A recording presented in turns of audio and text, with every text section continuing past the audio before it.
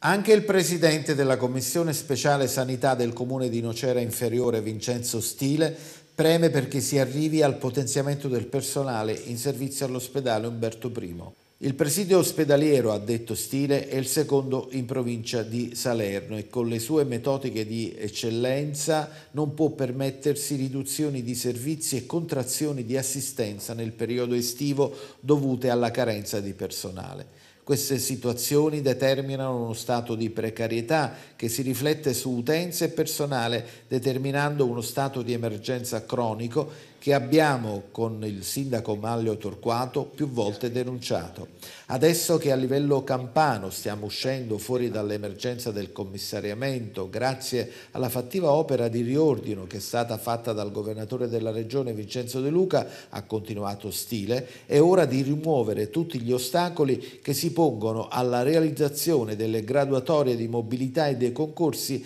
al più presto e con date certe, proprio per non vanificare tutti i sacrifici che sono stati fatti a livello gestionale e cercare di continuare l'opera che deve portare con l'uscita dal commissariamento la qualità dell'assistenza sanitaria in Campania Stile invita i dirigenti dell'ASL Salerno e del presidio ospedaliero a continuare il loro duro lavoro per ottemperare efficacemente al deficit di personale e a evitare che possa configurarsi un vero e proprio stato di emergenza. In rapporto al lavoro svolto da amministratori e professionalità dell'ospedale, l'Umberto I sia posto in condizione di esprimere tutte le sue potenzialità ed eccellenze come meritano Cera, l'Agro e tutta l'ASL Salerno, concluso Stile.